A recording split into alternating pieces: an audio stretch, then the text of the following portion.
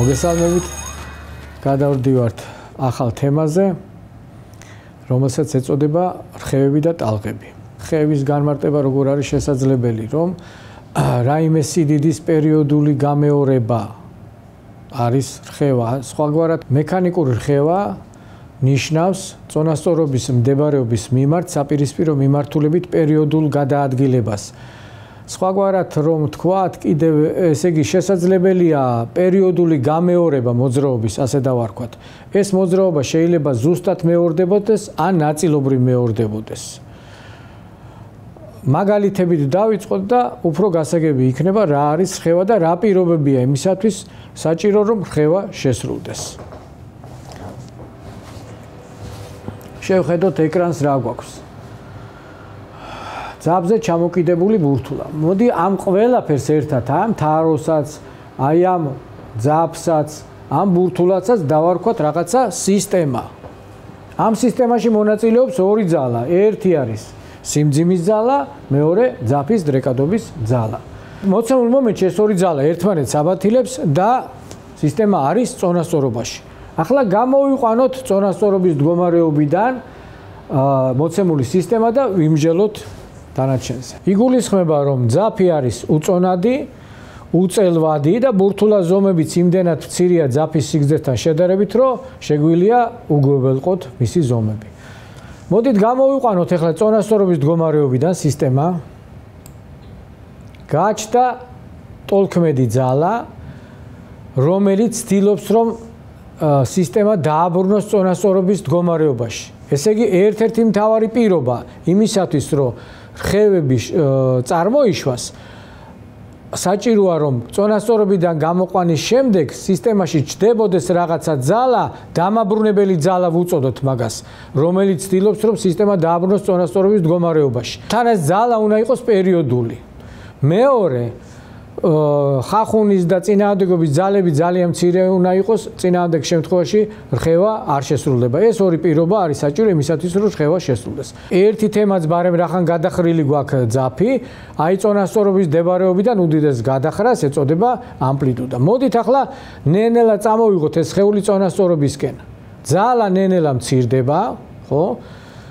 წონასწორობის დებარეობაში ძალა საერთოდ ხრება, მაგრამ ვინაიდან სხეულს აქვს უკვე შეძენილი კინეტიკური ენერგია და ის ინერციით აგძელებს მოძრაობას, ძალა ჩდება მაშინვე საპირისპირო მიმართულებით, რომელიც ამ მოძრაობის საპირისპიროთ არის მიმართული და აფერხებს მას. რაღაცა მომენტში სხეული აუცილებლად გაჩერდება და ყველაფერი თავიდან მეორდება. მოდით ახლა ჯერ წინააღმდეგობის ძალების გარეშე და ხახუნის ძალის გარეშე გაუშვათ ხელი ამას მივიღებთ მექანიკური რხევები. ამ შემთხვევაში რხევა არის ჰარმონიული. ну რეალობაში ჰარმონიული რხევა ჩვენ არ გვაქვს, იმიტომ რომ არის წინააღმდეგობის ძალები. მოდი წინააღმდეგობის ძალები შევქნათ და რხევა გახდა მილევადი. ის აღარ არის ჰარმონიული. აი ესეთ რხევას ეწოდება თავისუფალი რხევა.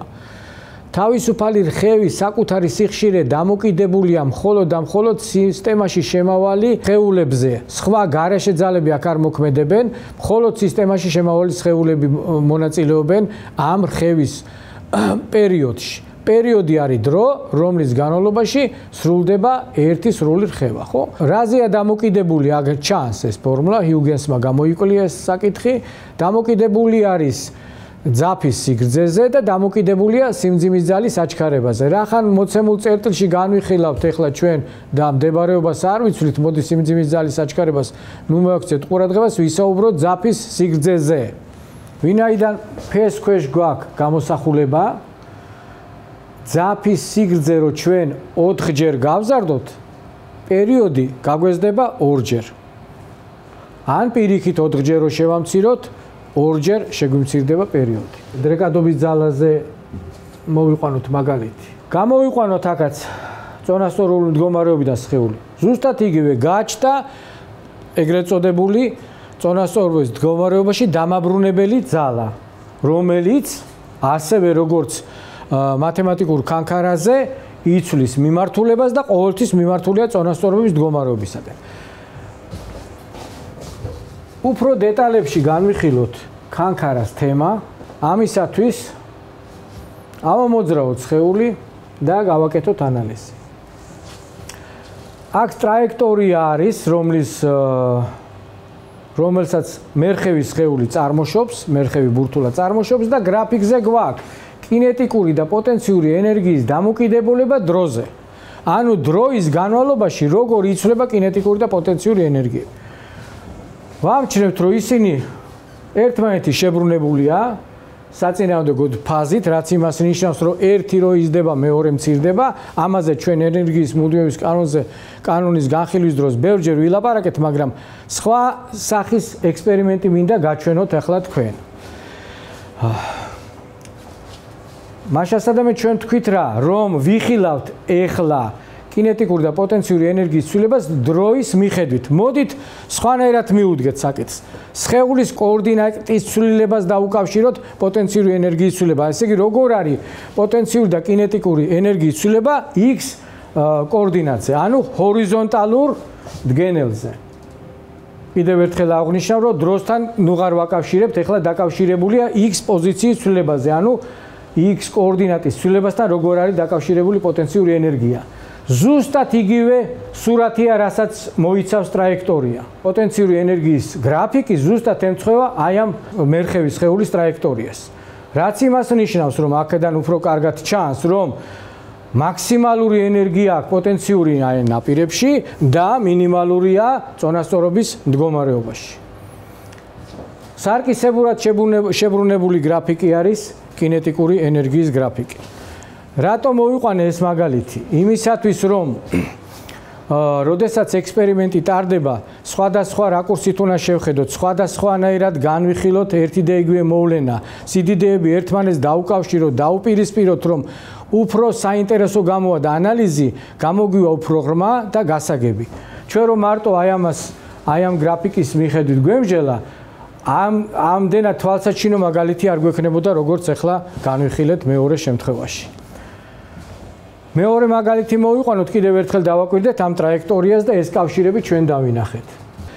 ეს არის მდგრადი წონასწორობა, ამაზე ჩვენ ვისაუბრეთ, მაგრამ ახლა იმ რაკურსიდან შევხედოთ, რაც წეგან განვიხილეთ მათემატიკურ კანკარასთან შედარებით. ტრაექტორიას ზუსტად ისეთივე ფორმა აქვს, როგორიც იყო მათემატიკურ კანკარის დროს. ასევე ენერგიებიც ამავე პრინციპით არის კინეტიკური და პოტენციური ენერგიის ცვლილება. უბრალოდ აქ წინააღმდეგობის ძალებია და ისინი მცირდებიან და ამიტომ ესეთი გამოკვეთილი ხასიათი არ აქვს. მაშასადამე ეს მოვლენაც იგივე პრინციპით შეგვიძლია ავწეროთ. წარმოიდგინეთ, რომ მაგ რაღაცა დიდ რადიუსიანი წრეწირი აქვს და მის ცენტრში არის დამაგრებული ბურთულა, რომელიც აი ამ სფერულ სფეროს მაგვარ ჩაზნექილ ზედაპირზე მერყეობს. ანუ ქანაობს. ამ შემთხვევაში ცენტრისკენული ძალის როლს ასრულებს სწორედ აი ეს რეაქციის ძალა, რომელიც წარმოიშობა ბურთულასა და საყრდენ შორის, რასაც ასრულებდა ძაფი. მათემატიკურ კანკარაში. ესე იგი, აი შუგენსის ფორმულის გამოყენება ამ მოვლენისთვისაც შეგვიძლია ჩვენ. ახლა ერთ-ერთ საკითხთან დაკავშირებით, ყველა ამ შემთხვევაში ჩვენ ქონდა საუბარი მილევად რხევებზე, რაც იმაში ნიშნავს, რხევები იყო თავისუფალი. საბოლოო ჯამში ის აუცილებლად მიილეოდა და სისტემა გაჩერდებოდა. იმისათვის რომ რხევა იყოს მიულევადი, საჭიროა რაიმე გარეშე ძალა, რომელიც აიძულებს მერხევ სისტემას, რომ მუდმივად რხევა იყოს მიულევადი. მაგალითად მოვიყვანოთ საქანელა. როგორ ხდება საქანელას გაქანება? მე მგონი ამას სწავლა არ უნდა. ვცდილობთ რომ ვუბიძგოთ მისი მოძრაობის მიმართულებით, როდესაც ჩვენგან უკვე იწყებს საქანელა მოძრაობას, ამ შემთხვევაში მოქმედებთ მაგაზე ძალით, რომ გაიზარდოს მისი რხევის ამპლიტუდა. ყოველ გაქანებაზე მისი ამპლიტუდა იზრდება და იზრდება, ხო? მაგრამ ჩვენ ვაკეთებთ რა? სინქრონში ვცდილობთ ეს გავაკეთოთ. ესე იგი, საქანელის გადაადგილებას ვამთხვევთ ჩვენი ძალის მიმართულებას. ჩვენ არასოდეს არ ვდგებით, წარმოიდგინეთ, წონასწორობის მდგომარეობაში დავდგეთ და წამოვიდეს საქანელა და შემდეგ კარგად გავერკვევით ამ ყველაფერში. მაშასადამე კიდევ ერთხელ ვიმეორებ, სინქრონში ვცდილობთ მის გაქანებას, ანუ მთავარი პირობა ის არის, რომ საქანელას გადაადგილებას უნდა დავამთხიოთ ჩვენი ძალის მიმართულება, რომ მივიღოთ რხევები. მიულევადი რხევები. ასე დამრიგად გარეშე ძალის დანიშნულება გავარკვიეთ. მაგრამ გავნიხილოთ ასეთი საკითხი, რასაც ეწოდება რეზონანსი. რას ნიშნავს რეზონანსი? მოდით ეს გავარკვიოთ. ამისათვის ვნახოთ ასეთი მაგალითი. გვაქვს სხვადასხვა სიგრძის ძაფზე ჩამოკიდებული ბურთულები. თქვათ, გარეშე ძალა არ მოქმედებს, რაღაცა ძელი გვაქვს, რომელზეც მიერთებულია ძრავა, ჯერჯერობით ძრავა არის უძრავი და ბურთულებიც უძრავ მდგომარეობაში არიან.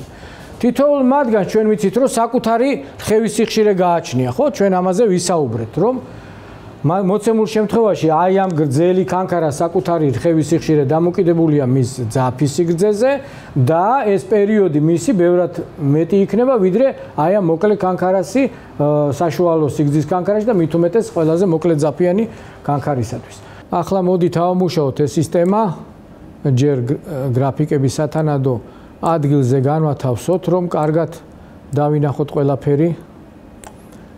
ერთი გრაფიკი მარცხენა გრაფიკი არის დიდი კანკარას გრძელ გრძელ ძაბზე ჩამოკიდებული კანკარას გრაფიკი. მარჯვენა აი საშუალო კანკარის გრაფიკს ასახავს. აი მარჯვენა გრაფიკი. ეხლა მოდით ავამუშაოთ სისტემა. ჯერ წავშალოთ და ამოქმედა ხევით მოძრაობაში მოვიდა ძელი და გრძელი გრძელ ძაბზე ჩამოკიდებული ბურთულას ამპლიტუდა მატულობს. აი აქა ჩანს გრაფიკზე რომ როგორ მატულობს მისი ამპლიტუდა, როგორ მატულობს მისი კინეტიკური და პოტენციური ენერგია. აი პატარა ბურთულასთან ქაოსური სიტუაცია გვაქვს.